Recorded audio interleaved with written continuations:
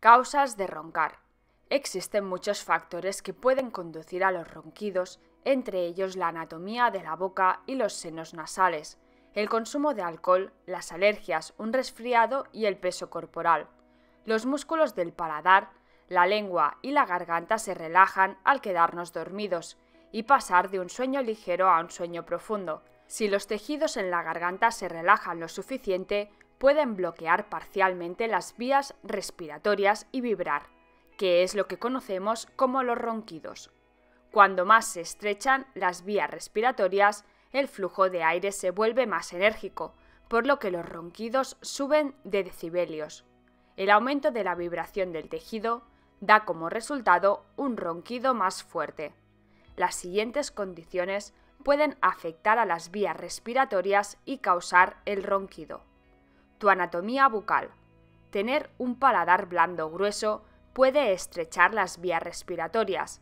Las personas con sobrepeso u obesidad pueden tener tejidos extra en la parte posterior de su garganta que pueden limitar sus vías respiratorias.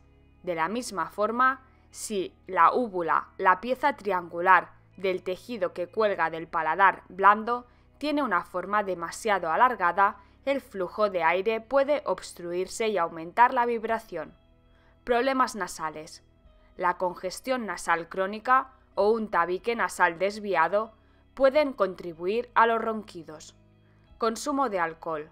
El ronquido puede también ser causado por el consumo excesivo de alcohol antes de acostarte. El alcohol relaja los músculos de la garganta y disminuye tus defensas naturales contra la obstrucción de las vías respiratorias. Apnea del sueño. El ronquido también puede estar asociado con la apnea obstructiva del sueño. En este estado grave, los tejidos de la garganta bloquean parcial o totalmente las vías respiratorias, lo que impide la respiración.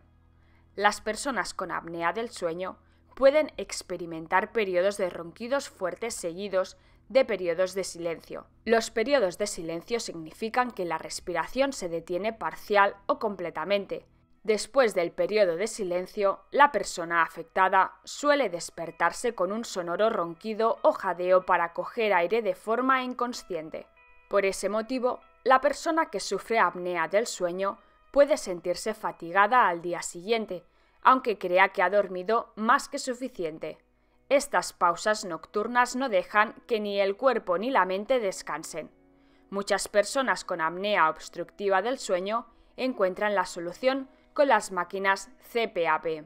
Si te interesa este tema, no puedes perderte nuestros vídeos relacionados.